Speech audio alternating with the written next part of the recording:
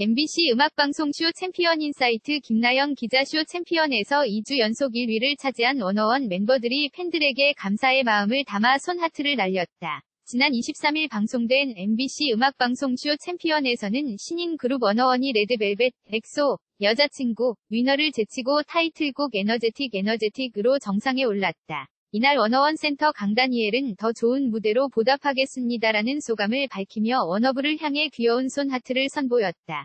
MBC 음악방송 쇼 챔피언 그 옆으로 멤버 하성운, 박우진도 각자의 개성을 담은 손 하트를 워너블에게 발사하며 고마움을 전했다. 이어 이대휘, 옹성우, 하성운은 워너블 사랑해요. 워너블 짱, 워너블 감사해요 등의 소감을 전하며 팬들에 대한 극진한 사랑을 표현했다. 한편 워너원은 지상파와 케이블 가요 프로그램 등에서도 1위를 차지하며 7관왕을 달성했다. MBC 음악방송 쇼 챔피언 워너원 음악중심 1위 하자 핫샷 멤버들에게 달려간 하성운 영상 그룹 워너원의 멤버 하성운이 음악 프로그램 1위 후 제일 먼저 본래의 소속팀인 핫샷을 찾아가 기쁨을 함께 누렸다. 김나영 기자 NAYOUNG 골뱅이 INSIGHT.co.kr